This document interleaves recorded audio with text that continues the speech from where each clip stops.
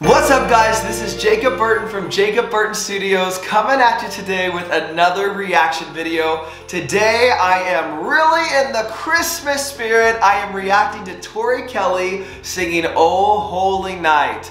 For all of you Tori Kelly stands, just so you know, I am one of you. I have seen her live in concert. She's probably one of the greatest singers of our generation, and I cannot wait to react to this video today. Before we dive in, if you like reaction videos, if you like getting professional feedback from vocal coaches in the industry, make sure and subscribe to my channel. I'd love to stay connected with you and keep you posted on all the latest content coming out of Jacob Burton Studios. Okay, let's dive on in Our Reese. next has gone Reese Witherspoon? What? To the Billboard charts. And now this. Please welcome singer, songwriter, Tori wait, Kelly.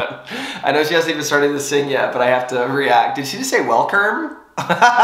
like Irma Gerd? Like, oh my God. Who spiked Reese's eggnog? What's going on? What's going on on this show? What is this? NBC, ABC? What, what, what are we doing? What's going on? This is crazy. Okay, so Reese might be a little tipsy. You know what? She's in the Christmas spirit. Let's go.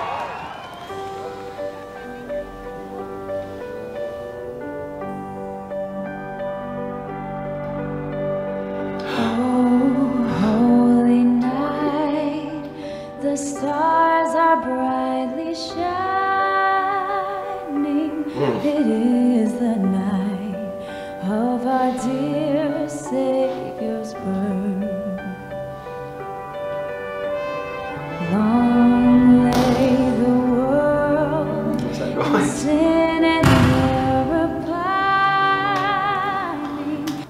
The devil never stops, y'all. I don't know what these bombs are trying to disrespect Toriana Grande, Tori Carey, Tori Dion, Tori Kelly. I don't know what these bombs are, but they're disrespectful. But if I've said it once, I've said it a thousand times. The devil never stops. Let's talk about some of the things that she's doing so far. So what she's doing right now is she's very strategically using her vibrato. She's using her vibrato in a unique way to make sure that this song feels maybe a little more epic, a little more dramatic. This is a ballad. This is a type of song that we like to belt. This is the type of song you would hear in church and you hear done usually in a very epic or dramatic arrangement. And she's definitely making sure that her voice is meeting the moment. So how is she using her vibrato? Well, she's using it a little bit just regularly, just singing with vibrato, but she's also stalling it. So stalling your vibrato is when you go shining, where you first hit the note straight and then you lean into a vibrato. So we're hearing her do that a little bit and it creates some tension, it creates some dynamic, it creates this question of, you know, what's gonna happen next with this note. What I love about Tori Kelly and what any Tori Kelly fan loves is that she is such an incredible storyteller and controller of her voice. Controller of her voice. she has such impeccable control of her instrument. More so than most singers that you're gonna ever hear. She tells every single note where to go and what it's supposed to do. That's a very special skill. And her mixed voice is what dreams are made of. So uh, we're already hearing her really begin to let the story grow from a nice, intimate, kind of tender place. I can't wait to see what happens next. Hopefully there's no more bomb noises going off because the angelic voice of Tori Kelly that came from the third heaven ain't gonna have that. Okay, let's go. Till he appeared and the soul felt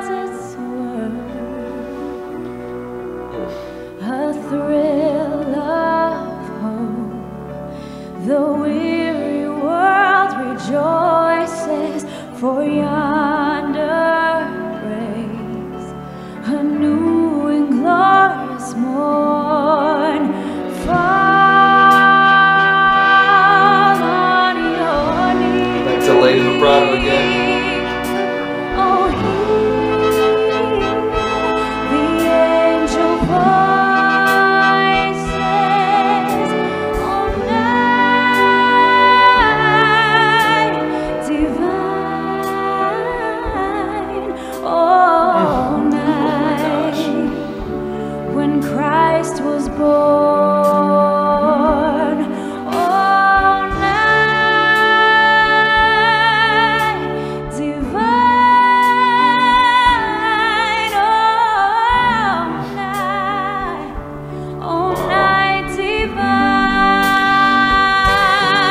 Now, I'm just gonna pause it there.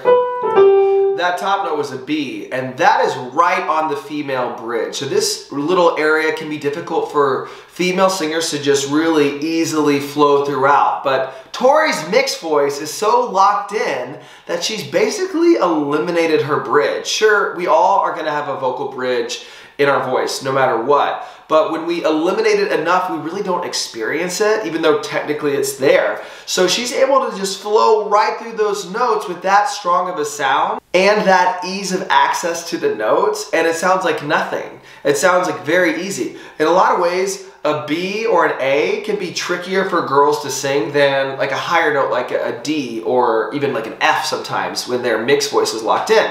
So this ease that we're hearing here, it might just sound like, oh, just that's just Tori being Tori. and it is, but I want to give credit where credit's due. That is really tricky what she's doing so far. And I'm sure she's about to do even more with the kind of big high note that's about to come at the end of this song. So let's see what happens next.